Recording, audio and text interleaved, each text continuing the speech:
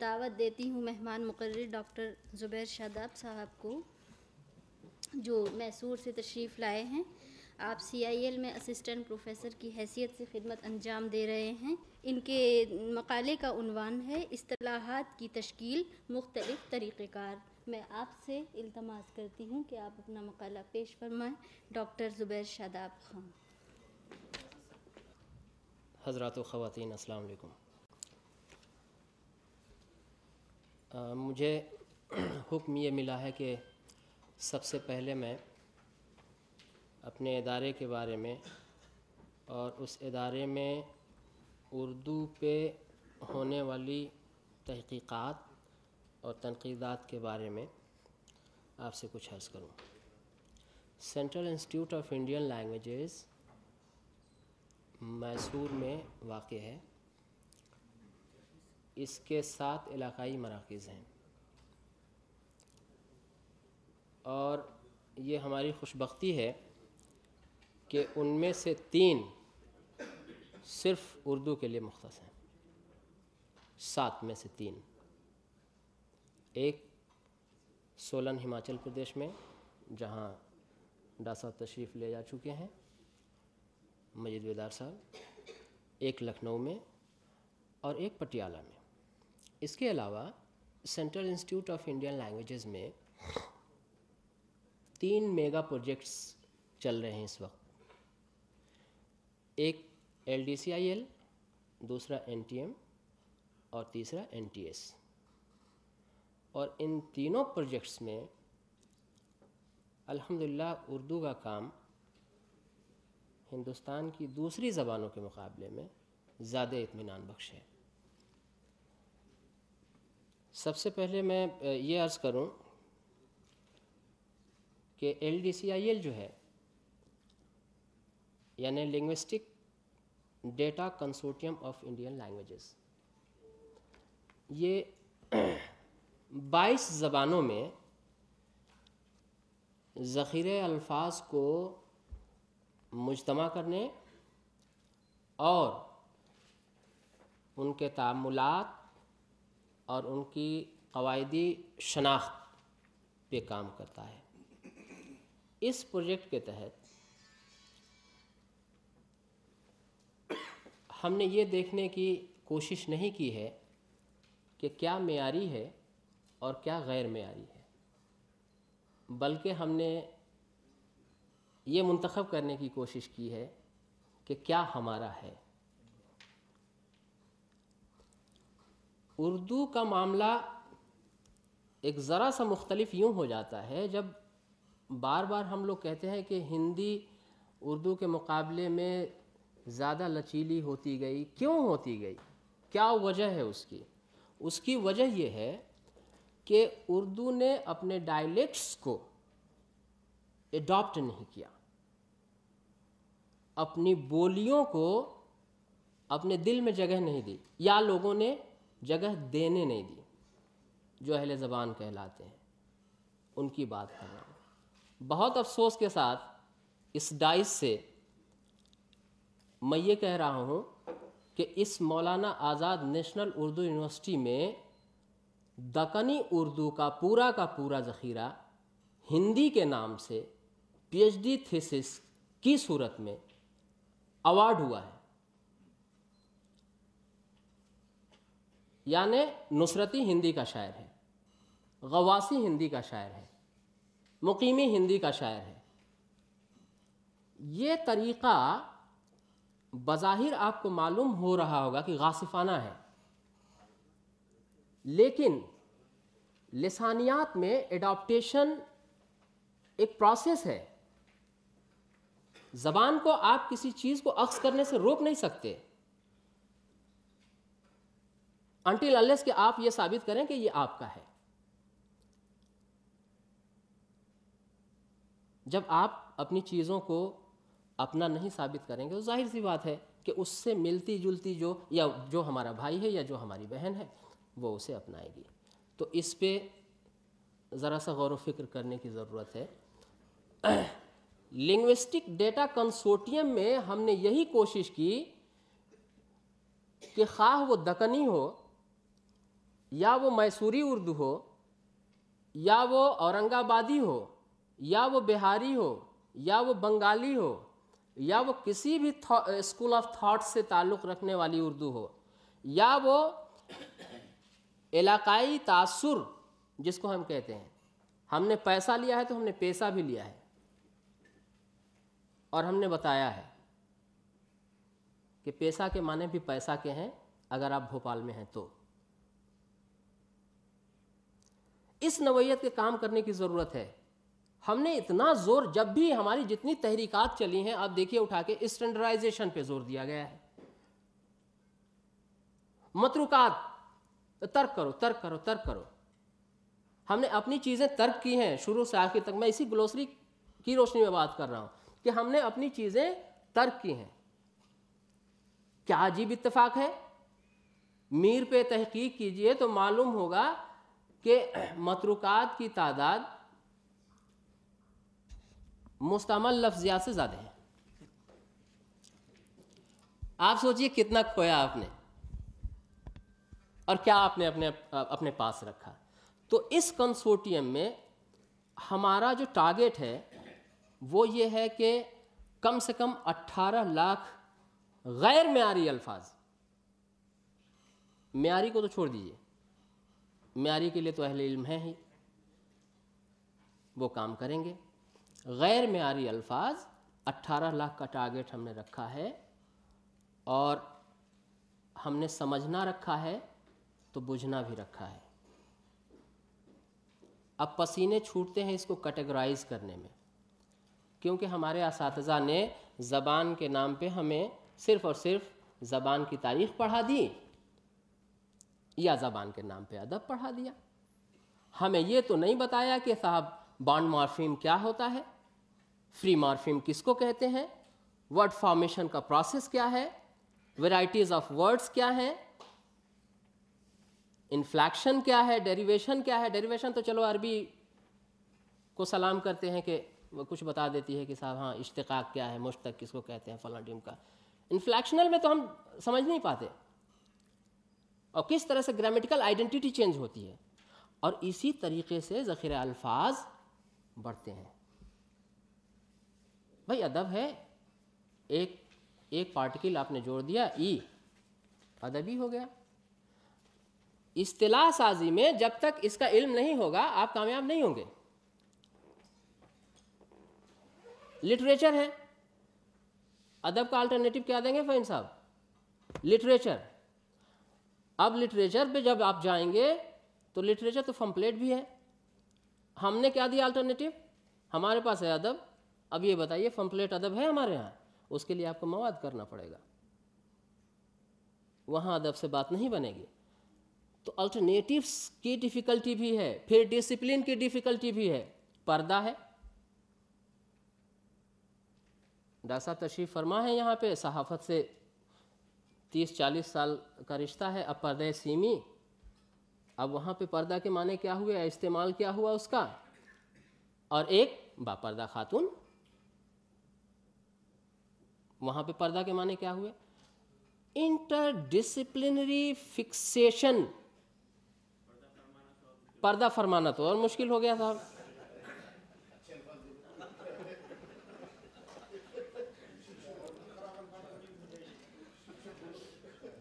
तो इस नवैयत का काम हम कर रहे हैं एलडीसीआईएल में। और इसके लिए हमने हिंदुस्तान भर के अखबार को ज़िराक्स कराया। और जितनी किताबें मार्केट में अवेलेबल हैं या लाइब्रेरीज़ में हैं, उनकी फ़ोटोकॉपी हमने बनवाई, फ़िल्में बनवाई, और अब हम क्लासिफिकेशन पे काम कर रहे हैं। हमने डेटा इनपुट कर दिया है क्लासिफिकेशन पे काम कर रहे हैं। फ़हीम साहब का शिकवा बिल्कुल बजा है, लेकिन दिक्कत यह है कि तहकीक में तीन नवैयत के काम होते हैं। एक शॉर्ट टर्म होता है, एक मिड टर्म होता है, एक लॉन्ग टर्म होता है।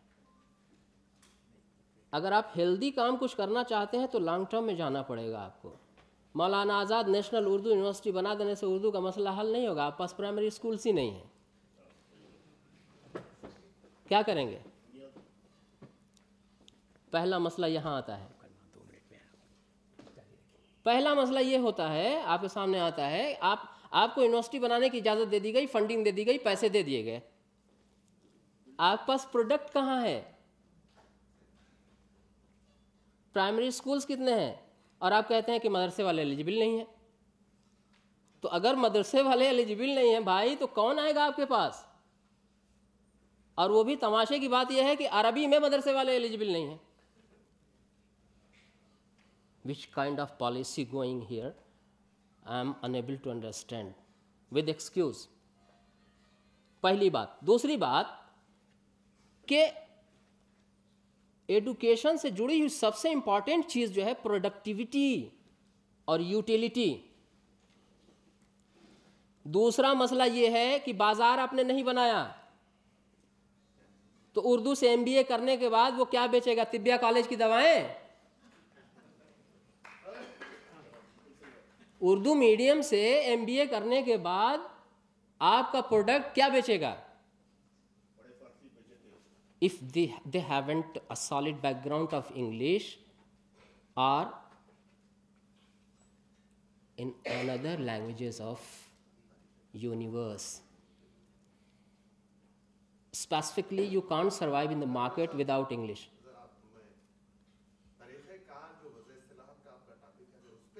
जी मैं वहीं आ रहा हूँ। आप देखते रहिए सुनते रहिए बल्कि इसके लिए हमने क्या किया? नेशनल ट्रांसलेशन मिशन ये जो इस तरह के मसाइल आते हैं बग़ैर सोचे समझे जो फैसले ले लिए जाते हैं उनसे मसाइल बहुत पैदा होते हैं। तो अब इस तरह के मसाइल जब सामने आए, कि साहब हिंदी यूनिवर्सिटी खुल गई, सिलेबस हमने बना दिया मिलके टेक्स्ट बुक हमने नहीं देखा। हमारे पास टेक्स्ट बुक नहीं है। तो हम तो पहले छत बनाते हैं, उसके बाद नींव खोदते हैं, उसके बाद बुनियाद डालते हैं, उसके बाद दीवार खड़ी करते हैं। ये है हमारा रवैया। यहाँ भी वही हुआ है। यहाँ भी वही हुआ है। यूनिवर्सिटी की बुनियाद के साथ साथ सबसे पहले institute of terminology, institute of terminology आपको इस्टेब्लिश करना था। और तमाम ओलूम के लोगों को इकट्ठा करना था, अभी मैं डेटा दूँगा आपको। तब जाकर के, जब आप कम से कम चार पाँच साल के अंदर इस पोजीशन में आ जाते कि आप फिज़िक्स को उर्दू में पढ़ा सकते थे, केमिस्ट्री को उर्दू में पढ़ा सकते थे, इंजीनियरिंग को उर्दू में पढ़ा सकते थे, आप बिज़नेस मैनेजमेंट उर्दू में करा सकते थे, उसके बाद इन शुबजात को खोलने की ज़रूरत थी। छत पहले हमने डाल दी है और बुनियाद मादूम है। 22 लैंग्वेजेस में इंग्लिश वर्सेस 22 लैंग्वेजेस सर हमने नेशनल ट्रांसलेशन मिशन का काम किया। 22 इंटू बाईस twenty two into twenty two यानी अगर तेलुगु का कोई लिटरेचर है,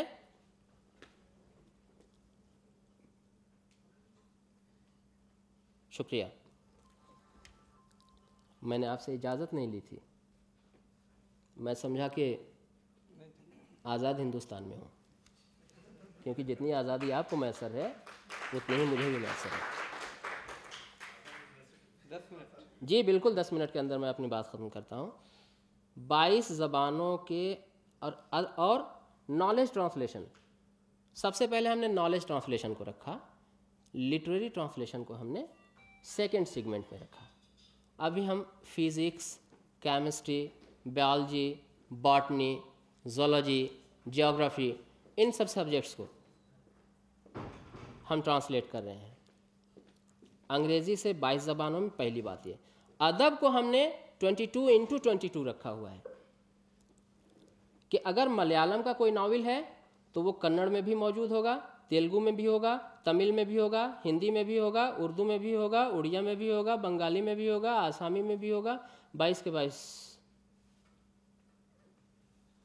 नेशनल ट्रांसलेशन मिशन का काम ये है। इस काम को शुरू करने से पहले सबसे बड़ी हमारे पास जो दिक्कत आई, वो ये आई कि इस्तेलाहात हमारे पास नहीं है। और सिर्फ़ उर्दू का ही मसला नहीं है। तमाम ज़बानों का मसला है। तो शुरू में हमने नॉलेज टर्मिनोलॉजी नॉलेज टर्मिनोलॉजी पे काम करना शुरू किया। और उसमें सबसे ज़्यादा गरीब उर्दू वाले हैं। हमारे पास रिसोर्सेज नहीं, हमारे पास एक्सपर्ट्स नहीं हैं। हम जब तलाश करते हैं तो हमारे चंद बुज़ुर्ग मिलते हैं, अल्लाह उनको सलामत रखे। वरना पचास साल से नीचे की उम्र में कोई फिज़िक्स पढ़ाने वाला associate professor associate professor physics को उर्दू में नहीं बता सकता। रिटायर्ड प्रोफेसर बता सकता है। बस, ये हमारी सूरत हाल है। तीसरा जो अहम प्रोजेक्ट है, वो है नेशनल टेस्टिंग सर्विस जो कुछ भी आज तक हुआ है इल्म के मैदान में, उसको असेस करना मेज़र करना टेस्ट करना इवेलुएट करना और उसके बाद आपके सामने पेश कर देना। उर्दू की सूरत हाल ये है कि बाज़ किताबों को, मादूद चंद किताबों के अलावा कोई टेक्स्ट बुक टेक्स्ट बुक के पैरामीटर पे नहीं उतर रही है।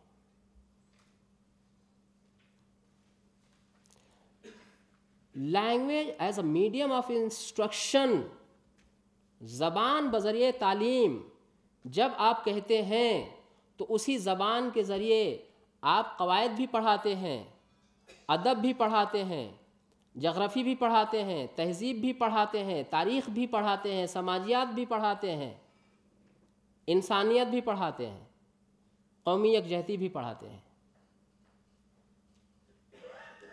ये रवैया उर्दू टेक्स्ट बुक में बहुत बड़ी हद तक मालूम है। केरल में अभी चार साल पहले जो एक टेक्स्ट बुक सीरीज़ इन्होंने तैयार की है केरल वालों ने, उनके यहाँ साहब, इन सब चीज़ों का लिहाज रखा गया है। और उसके अलावा सलाम करना है आंध्रा को और महाराष्ट्र को, कि ये दो स्टेट अभी भी बहुत बहुत सही मकाम पे हैं। यूपी का तो हाल ही छोड़ दीजिए, बहुत बुरा है। या शुमाली हिंद का। नेशनल टेस्टिंग सर्विस ये काम करता है। अब इस काम को करने में जितनी डिसिप्लिन्स हमारे सामने आ रही हैं, अब जैसे आइटम है साहब एक आइटम एक टर्म है। आइटम इज़ नथिंग और कुछ नहीं है आइटम एक सवाल है जिसमें इस्तेफाम नहीं है। मीर पैदा हुए। अब डायमेंशंस खुलते हैं। सन का मीर पैदा हुए 1718 में, मीर पैदा हुए लखनऊ में, मीर पैदा हुए मुफलिसी में।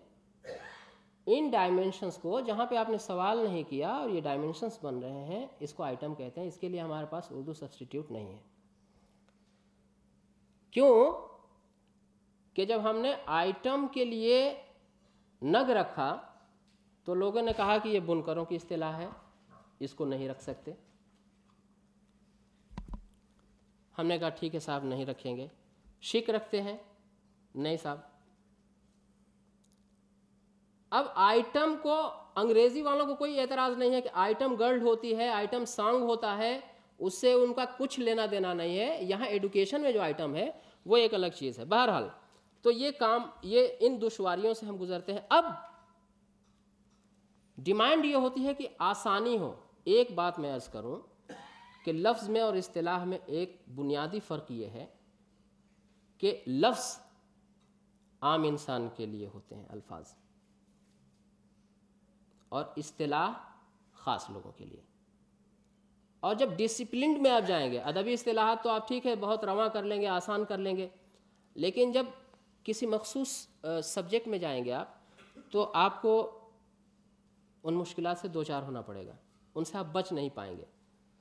इसके लिए आलमी सतह पे जो कोशिशें की गई हैं, उनको मैं पेश करने की कोशिश करता हूँ। शुरुआत उर्दू वाले से। मसूद हुसैन खान। इस्तेलाह वो लफ्ज़ मखसूस है, जिसके ज़रिए मानी और मफहूम का तयन कर दिया जाता है। माने और मफहूम का तयन कर दिया जाता है। यहाँ एक लफ्ज़ के एक ही माने होते हैं। यूँ समझिए कि यहाँ मतलब की सोने की कीलें गाड़ी जाती हैं। इसके बरक्स तख्लीकी ज़बान जज्बाती और तखयली होती है, जो लफ्ज़ के मानी का तयन नहीं करती, बल्कि उसके, उसे फैलाती है। लफ्ज़ और अतलाह में एक जो तमीज़ हम पैदा कर सकते हैं वो ये। इस्तेलाह के बुनियाद गुजारों में वूस्टर एक बहुत मशहूर थिंकर हुआ है। उसने इस्तेलाह के बारे में कही, ये बात कही है कि इल्म इस्तेलाहात में तसव्वुर को कलीदी हैसियत हासिल होनी चाहिए, ना के मानी को। Concept priority should be goes with concept concept क्या है? उसको आप लफ्ज़ के हजम में ले आइए। अगर तस्वूर की तरसील हो जाती है, उसके आमद रफ्त में कोई रुकावट नहीं आती तो ज़बान के मैार और ज़बान के मैारी और गैर मैारी होने का कोई मतलब नहीं। ये आसानी की बात कही जा रही है। तस्वूर यानी कंसेप्ट को इस, इस्तेलाह का जुज़ और कुल दोनों करार दिया जाना चाहिए। जुज़ भी और कुल भी। तीन स्कूल ऑफ़ थॉट्स हैं टर्मिनोलॉजी में, जिन्होंने बहुत ज़्यादा काम किया है ऑस्ट्रियन सोवियत और चेक इन तीनों के यहाँ जो मुश्तरका निकात मिलते हैं, जिन पे इन तीनों स्कूल ऑफ़ थाट्स का इत्तेफाक है, वो ये कि अतलाह बैन मौजूदी होने के साथ साथ आज़ाद मौजू की हैसियत भी रखती है। पहली बात ये। मिसाल फ़ौर दे दूँ, वायरस। वायरस कंप्यूटर की ईजाद से पहले मेडिसिन का टर्म हुआ करता था। वहाँ से ये ट्रांसफार्मेशनल लिंग्विस्टिक्स के तहत यानी जो तकलीब कारी होती है कि एक डिसिप्लिन से एक कुछ मखसूस लोग जानते हैं सिर्फ़ डॉक्टर्स जानते हैं एक लेमैन कंप्यूटर की वजह से जानता है। तो इस्तेलाह से समझने की ज़रूरत है। इल्म की तंजीम कारी कर, करने की अगर क़वत है तो इस्तेलाह है वरना लफ्ज़ है। चाहे कोई कहे गलत लफ्ज़ है नकद होना चाहिए निकाद होना चाहिए फ़लाँ होना चाहिए तनकीद। तनकीद कहने से आपका पूरा अफेक्टिव डोमेन आ गया उसमें। लिसानी नुक़ नज़र के मुताबिक ये लगत या ज़ख़ीरा अल्फाज के अलावा मखसूस फ़नून की अलामतें हैं। यहाँ भी स्पेसिफिकेशन मखसूस फ़नून की अलामतें हैं।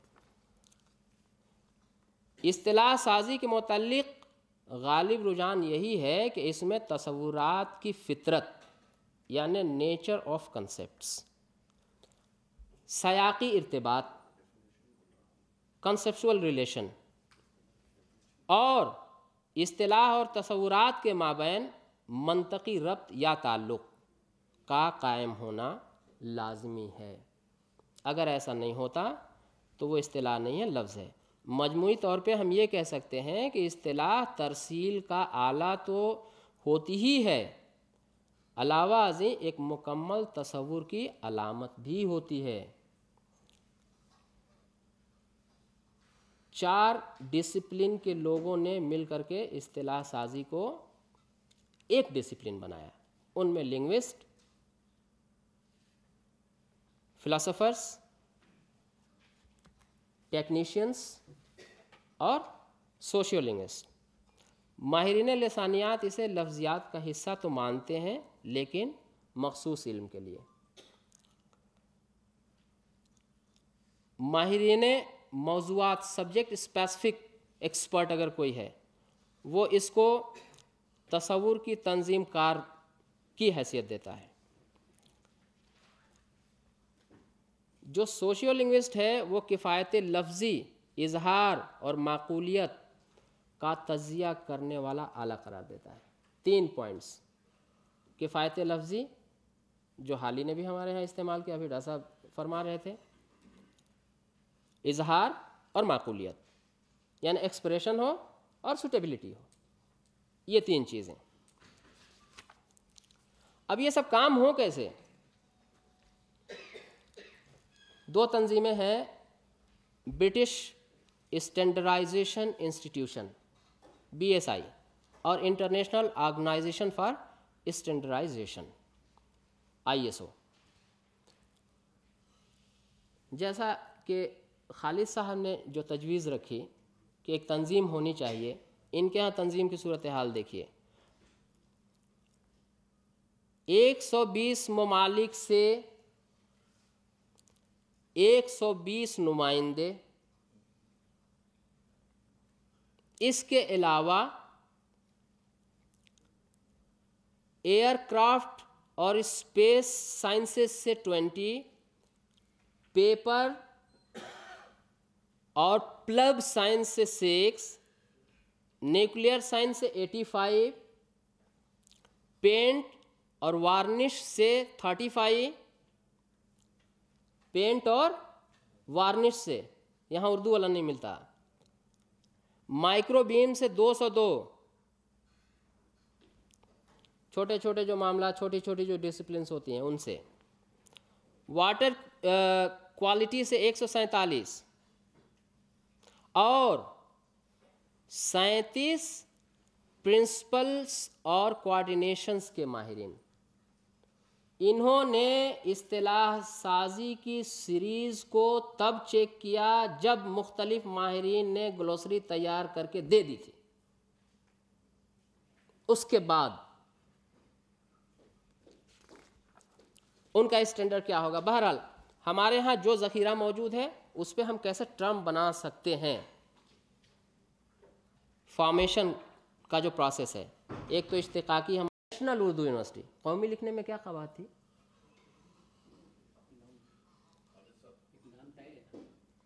नाम किसने तय किया?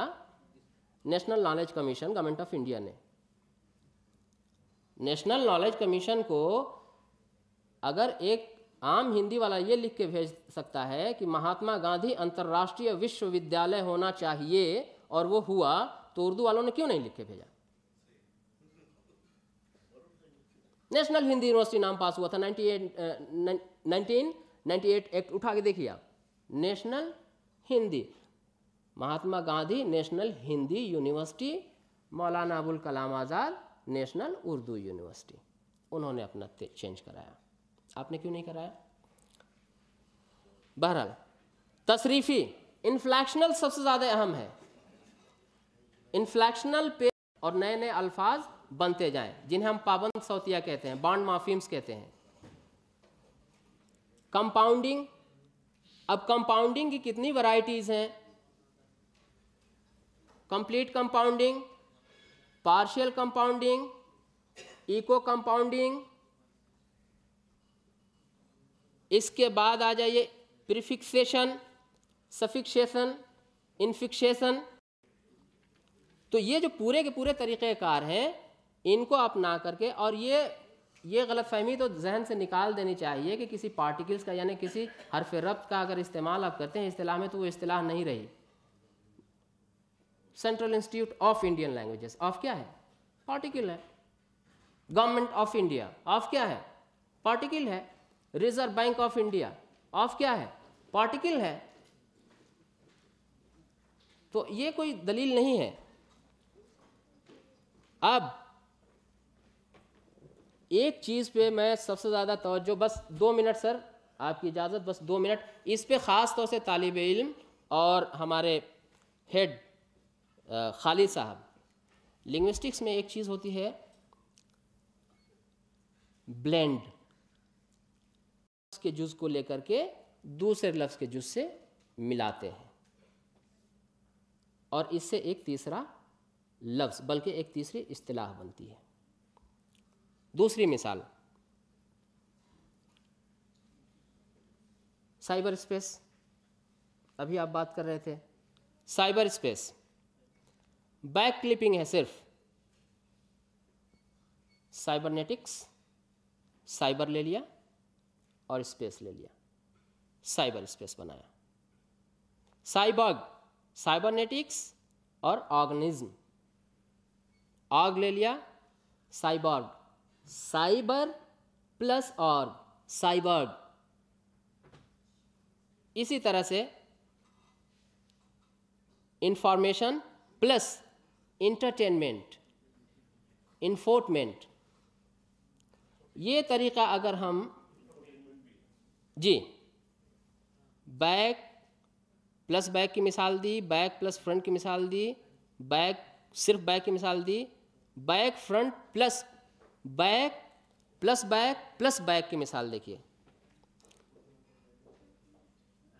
कासार या एसआर बहुत मशहूर बैंक का नाम है एसआर ये इसकी मिसाल है। तो इस तरह से हमें ज़रा देखना चाहिए। और इसके अलावा जो बाकी तरीक़ेकार पे सर ने बात की है कि उसका short form clipped terms abbreviations initials और एक्रोनियम्स एक्रोनियम्स भी हम बना करके बहुत सारी चीज़ें जी फोर आज देखिए, इतना बड़ा टर्म हुआ करता था। ठीक 20 साल पहले इतना बड़ा टर्म हुआ करता था। आज सिर्फ़ जी फोर हम कह देते हैं और बात। तो ऐसे, ऐसा नहीं है। तरसील का मामला जो है, ज़रा सा बाद में आता है सामने। पहले तो आप उसको आशना बनाइए। और फिर मुझे तो चौंसठ पॉइंट फाइव परसेंट मिले थे, पैंसठ पॉइंट नहीं, पैंसठ परसेंट नहीं मिल सके थे। लेकिन मैं उतने ही पे खुश था कि मैं फ़र्स्ट डिवीज़न पास हो गया तो अगर सौ में से चौंसठ पॉइंट फाइव, और अगर मुझसे भी कमज़ोर है तो पचास फ़ीसद मान लीजिए, तब भी गुड सेकेंड डिवीज़न उसमें गुड आ जाता है। ये मान करके चलिए। आप ये मत मान के चलिए कि हंड्रेड परसेंट जो कुछ आप बना रहे हैं, वो बिल्कुल मुस्तमल ही हो जाएगा। ये ये तो बिल्कुल आप दिमाग से निकाल दीजिए बात। और ये भी मान के चलिए, बिल्कुल हिंदी टर्म की हास्यपद नहीं होगा होगा, उर्दू में भी हुआ है। बहुत कुछ हुआ है, बहुत सारी मिसालें दी गई हैं। तो इन्हीं सब अच्छी बुरी बातों के साथ, बस मैं इस जुमले के साथ आप तमामी हज़ात ख़वातीन से इजाज़त देता हूँ आपका शुक्रिया अदा करता हूँ कि आपने मुझे बर्दाश्त दिया कि इस्तलाह बनाते वक्त जब आप किसी मखसूस डिसिप्लिन में जाएँगे तो मुश्किल का सामना होता है।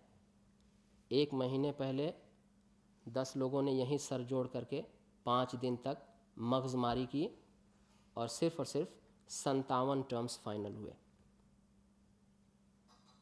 पाँच दिन, तकरीबन तकरीबन दस एक्सपर्ट्स उस्तादुल और हमारे जैसा तालब इल्म, सबने सर टकराए संतावन टर्म्स फाइनल हुए। लेकिन अल्हम्दुलिल्लाह, जो उन टर्म्स की तोज़ी है, एक बात और मैं भूल गया कि तोज़ी ज़रूर आनी चाहिए। आप इस्तेलाह बना देते हैं। उसकी तोज़ी नहीं देंगे कंसेप्ट नहीं देंगे, उस तस्वुर को नहीं देंगे, बात बनेगी नहीं। इसलिए इसका भी लिहाज रखना है। तो मुश्किलें आती हैं और आती रहेंगी और उनसे जी, बिल्कुल आप बना सकते हैं। बिल्कुल बना सकते हैं।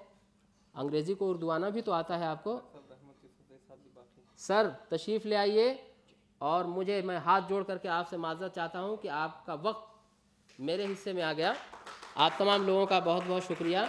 इस शेर के साथ मैं अपनी बात ख़त्म करूँ कि हौसला कर कमो बेशी, तहे दरिया की न सोच मसला डूबने का है, उभर आने का नहीं।